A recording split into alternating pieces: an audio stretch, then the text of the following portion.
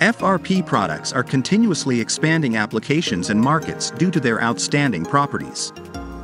Improved functional performance of fiber-reinforced polymers compared to steel, most notably, corrosion and thermal resistance, durability, high tensile strength, and lightweight, has significantly widened FRP products applications. Faster installation and lower transportation and maintenance costs of FRP composite resulted in higher demand for FRP products. However, the sustainability of the manufacturing process and final products represent a significant concern in a global society.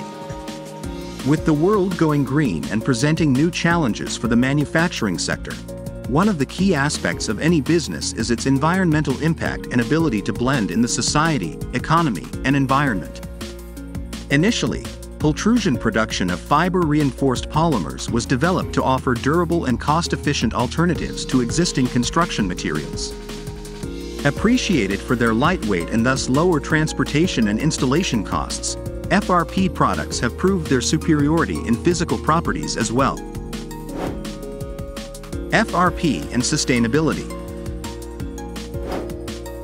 Longer service life based on corrosion and chemical resistant properties of FRP products means that products shouldn't be replaced often, which plays a vital role in the environment. Being impervious to thermal, chemical, and corrosion reactions, FRP composite doesn't require energy-intensive maintenance and replacement. In terms of sustainability, FRP rebar manufacturing has far less environmental impact than the production of traditional materials due to lower energy requirements and lower greenhouse gas production. Despite the confirmed data that FRP composite materials are more environmentally friendly compared to concrete, aluminium, and steel production, the ongoing research studies further the recycling potential of FRPs.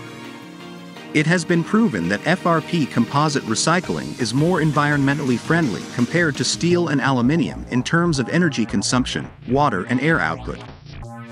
Versatile in their properties and applications, aerospace, industrial and civil engineering, agriculture, water treatment, chemical and pharmaceutical industries, FRP products demonstrate better performance across all major environmental indicators, including human toxicity, ozone depletion, freshwater eutrophication, and climate change emissions, which are lower by 78%, 40%, 85%, and 38% respectively compared to steel products. Besides, FRP rebars showed lower by around 40% CO2 emission levels compared to steel rebars.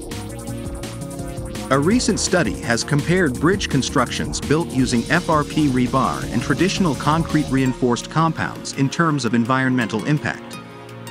As a result, bridges with the FRP deck showed lower carbon emissions by around 20% compared to conventional bridge structures. Overall, researchers concluded that FRP bridges require twice less energy input compared to their traditional alternatives.